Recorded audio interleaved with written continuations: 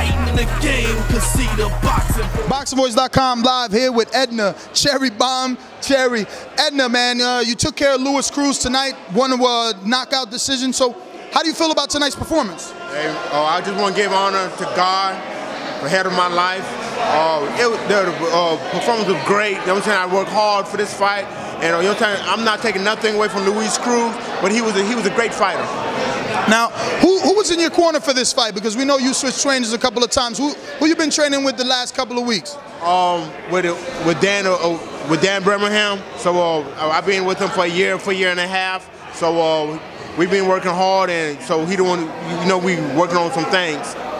Wow, so being over there with Dan Birmingham, obviously you got to be getting some sparring and, and learning things and, and teaching things to Keith Thurman as well. Oh yeah, definitely, man. You know, anybody could be a trainer, but he's a teacher. He teaches because you, could see he had Winky Wright, world champion, uh, Jeff Lacy, world champion, Keith Thurman, world champion. So I'm next. So uh, we're just working on a lot of things, and you know, we want to wrap a world title around our waist.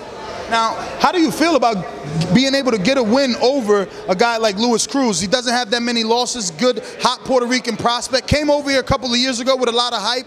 Are you satisfied with the win, your performance? Oh, definitely, man. What, whatever way you could get the win, I'm, I'm happy. I was the first one to knock him out. I mean, through with his, with, with his three losses, hey, I'm happy with the win, man.